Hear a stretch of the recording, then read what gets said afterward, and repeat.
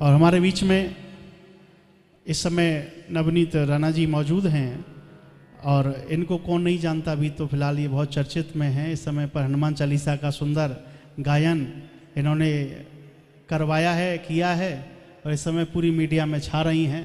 तो लेकिन इनसे पूज्य महाराज श्री और जब जब भी अमरावती में आते हैं तब तब आप समय निकाल कर यहाँ पहुँचती हैं। तो हमारे बीच में जो यहाँ की सांसद हैं, वो मौजूद हैं। तो निवेदन करूँगा कि पूज्य जी से आकर आशीर्वाद प्राप्त करेंगे, मंच पर आ जाएँ। और मैं निवेदन करूँगा कि हमारे लपी भैया मंच पर आ जाएँ। अग्रवाल जी, वो भी मंच पर आकर उनको आशीर्वाद दिलवाएँगे। और हम सब लोग जिस तरीके से ये बस बढ़िया। तो आप सभी जिस तरीके से वो इस समय पर, जैसे मैंने बताया, एक बार जोरदार ताली बजाकर उनका स्वागत आप सब लोग करें और यहाँ उनके साथ में और भी जो अतिथि आए वो भी पूज्य मर्सी से आशीर्वाद प्राप्त करेंगे और जिस प्रकार वो हमेशा अपनी सेवा के रूप में सेवा देती हैं तो मैं निवेदन करूँगा कि अब जय श्री राम। हमारे महाराज, आदरणीय, पूजनीय देवकी नंदन महाराज, जो आज धर्म का कोई भी चैनल खोलें तो महाराज उस चैनल पे ना हो और महाराज की वाणी उस चैनल पे ना हो, ऐसा एक भी चैनल हमने तो नहीं देखा है जितना मैं देखती हूँ, जितना मोटिवेट करने के लिए। क्योंकि जिस क्षेत्र में हम काम करते हैं, उस क्षेत्र में पॉजिटिविटी खुद में रखना और पॉजिटिविटी से समाज के लिए, काम करने के लिए हमें भी कई बार ऐसी ज़रूरत पड़ती है कि रोज़ दिन में दस मिनट या पंद्रह मिनट भगवान के पवित्र शब्द हमारे तक पहुँचने बहुत ज़रूरी है, तब हम लोगों तक पवित्र काम पहुँचा सकते हैं। इसलिए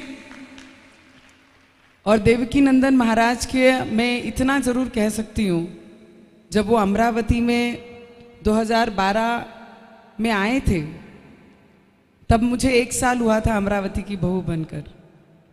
पर जब वो आए थे यहाँ पर और दशहरा मैदान में जब हमारा भागवत हुआ था तो हज़ारों के संख्या में तब भी संजू भाऊ अग्रवाल हमारे, उनका पूरा परिवार शुभम अग्रवाल से लेकर हमारे लप्पी भैया, पवन भैया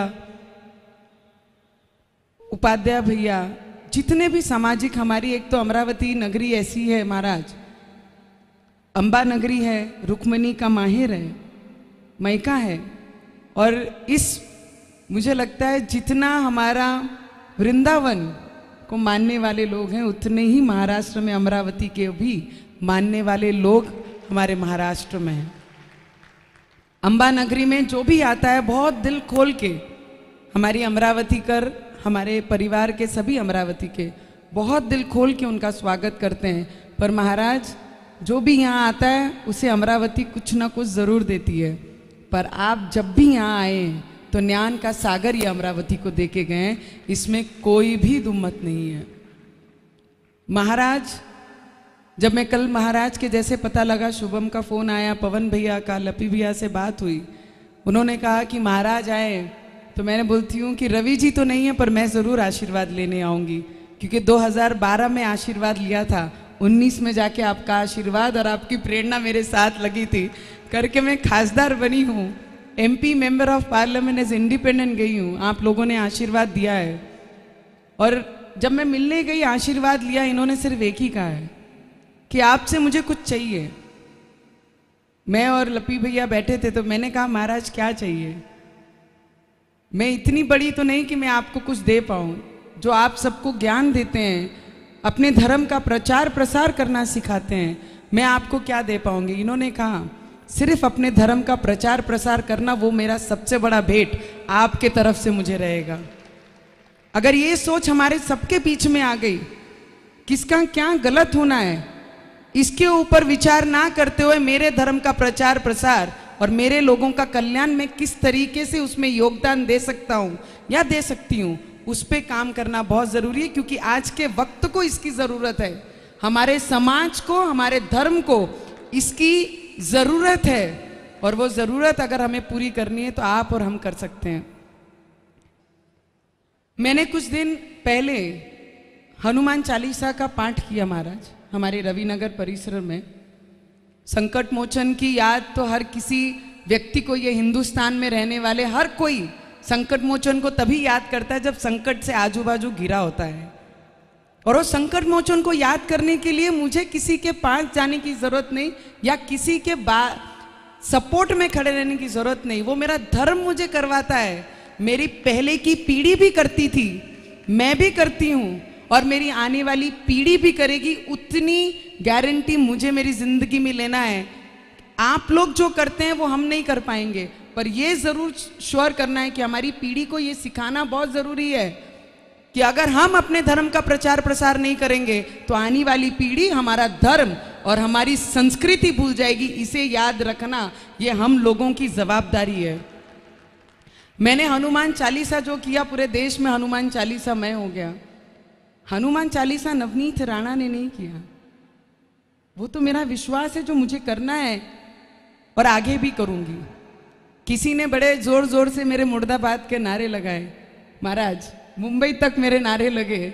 अमरावती में भी कई विरोधकों ने मेरे नारे लगाए। अगर धर्म का नाम लेना, अगर गुना है तो नवनीत राणा का मुर्दाबाद है। अगर धर्म की याद दिलाना, अगर गुना है तो मेरा मुर्दाबाद है। और अगर धर्म का प्रचार प्रसार करना ज़रूरी है तो मैं उसके सबसे आगे रहूँगी। जिनमें जितनी ताकत हो वो मेरा विरोध कर ले, पर मैं अपने धर्म को छोड़कर कभी बाजू में नहीं हटूँगी। मैं इतना ही बोल सकती हूँ कि महाराज, आपने अपना वक्त हमारे अमरावती में ये दूसरी बार दिया है। हम लोगों को कुछ पवित्र चीज़ें आप सिखा के जाएँगे, पर मैं सब आप लोगों को इतनी विनंती करूँगी कि time is the important thing in life समय सबसे बेहतरीन गिफ्ट है अपनी ज़िंदगी में। एक बार वो समय गया तो वापस कोई ला नहीं सकता। अगर महाराज ने अपना समय अमरावती को दिया है तो महाराज की वाणी से जो शब्द निकलते हैं, वो अपने पल्लू में बांधकर ज़रूर अपने लाइफ में इम्प्लीमेशन करना बहुत ज़रूरी है, जहाँ पर हमको काम आएगा।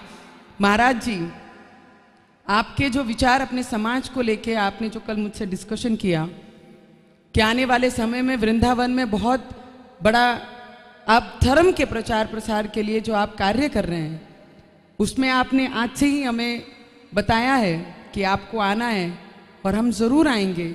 और जितना मैक्सिम होगा हमारी अमरावती में भी वो मैसेज सभी के घरों तक। हम पहुंचाएँगे कि वृंदावन, जो पवित्र स्थान पे, पवित्र जगह पे, जो महाराज धर्म के प्रचार प्रसार के लिए शुरुआत कर रहे हैं, शुरुआत बहुत दिनों से की, पर जो बहुत बड़ा आयोजन महाराज करेंगे, उसमें हम सब अमरावती करों को, वहाँ जाकर उत्साह से अपना सहभाग दिखाना है। इतनी विनंती मैं आप लोगों को करूँगी और अपने माँ बाप को, अपने माता को, पिता को। मुझे लगता है भगवान तो किसी ने नहीं देखा। हमारा विश्वास ही भगवान है। जहाँ विश्वास कर लिया उसी चीज़ में भगवान है। पर माता पिता की जो सेवा करता है, मुझे लगता है वो सबसे बड़ा भगवान हमारे माता पिता ही होते हैं। तो जितने यंगस्टर्स हैं महाराज, मैं हमेशा उन्हें कहती हूँ कुछ भी करो ज़िंदगी में, पर पेरेंट्स को उनकी सेवा करके उनका आशीर्वाद लेना बहुत ज़रूरी है। एक वही आशीर्वाद है, जो बिन स्वार्थ आपके पीछे और आपके सर पे आशीर्वाद के रूप में है। जितने बड़े हैं, उनके सामने अगर नम्रता से अगर आप झुक जाएँगे तो वो आपको आशीर्वाद ही देंगे। अगर वो नम्रता हमने अपनी ज़िंदगी में उतार ली तो मुझे लगता है नम्रता आपको बहुत बड़ा बना देंगे। जो झुकता है, वही बड़ा होता है। तो झुकना जिसने ज़िंदगी में सीख लिया, उसने सब चीज़ें अपनी ज़िंदगी में पा ली तो एक ही चीज़ झुकने में आ सकती कि नम्रता सबसे बड़ी ताकत आज की ज़िंदगी में। आजकल पैसे सभी के पास हैं। आजकल ऐसा कोई नहीं जिसके पास पैसा और धन नहीं है। पर जिसके पास नम्रता है, वो सबसे बड़ा धनवान है। ये चीज़ जितने ज़िंदगी में उतार ली, वो सबसे बड़ा धनवान आज ज़िंदगी में बन गया। इसलिए मैं ज़्यादा कुछ आपके पीठ से नहीं कहूँगी महाराज, पर आपसे आशीर्वाद लेने से मुझे ये ज़रूर पता है कि आने वाले कुछ सालों तक, जब तक वो मेरे पॉजिटिविटी आपकी मेरे साथ रहेगी, उतने समय तक मैं उसके ऊपर काम करूँगी। और जब लगेगा कि मुझे थोड़ी सी संकट दिखती है, फिर मैं वृंदावन आके आपके आशीर्वाद लेके आगे भी उसी तेज़ी से और पॉजिटिव से काम करूँगी। हमारे लप्पी भैया, पवन भैया, उपाध्याय भैया, हमारे अग्रवाल पूरा परिवार, जितने भी भावी भक्त यहाँ पर आए हैं, सभी को इतना ही कहूँगी, बड़ों से आशीर्वाद लेते हुए, सिर्फ़ टाइम का अच्छा उपयोग जर ज़िंदगी में किया तो बहुत कुछ हम कर सकते हैं। बस उतना ही आप लोगों से कहूँगी और बड़ों से आशीर्वाद, छोटों को ढेर सारा प्यार देते हुए अपने शब्दों को इतने ही विराम यहाँ ही विराम करूँगी।